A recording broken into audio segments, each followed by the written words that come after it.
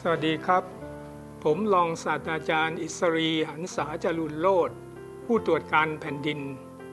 ในสุภาวาระขึ้นปีใหม่ 2565 ผมขออาราธนาคุณพระรัตนตรัย พระสยามเทวาธิราชอำนาจสิ่งศักดิ์สิทธิ์ทั้งหลายในสากลโลก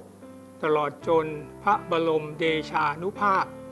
แห่งสมเด็จพระบูรพมหากษัตริยาธิราชเจ้าทุกพระองค์ และพระบารมี แห่งพระบาทสมเด็จ พระวชิรเกล้าเจ้าอยู่หัว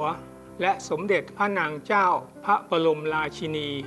ได้โปรดดลบันดาลประทานพรให้ท่านและครอบครัว